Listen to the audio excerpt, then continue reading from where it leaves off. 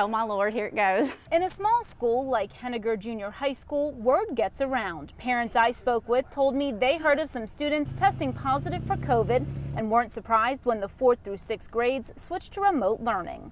I kind of expected that it might, you know, be that way because of hearing of a few cases. Melissa Kirby and Stephanie Woods both have children in those grades learning from home for the next two weeks. They're at home, they're safe, hopefully most of the cases will go through and get done with and, and they can go back and be fine.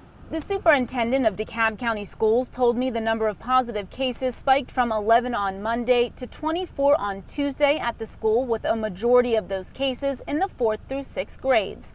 That's why those grades switched to remote learning and kept the other grades in the classroom. I think that they made the right decision to isolating it to the ones that have the higher cases. Keep them healthy and just you know, know that they were doing the best they could in the circumstances that we have right now. Both parents told me they hope their kids can get back to the classroom soon. If they have to go back with masks for a little while, that's perfectly fine with me. But yeah, it is scary because then you think, what grades are going to come next? Sophia Borelli, WAAY 31 News.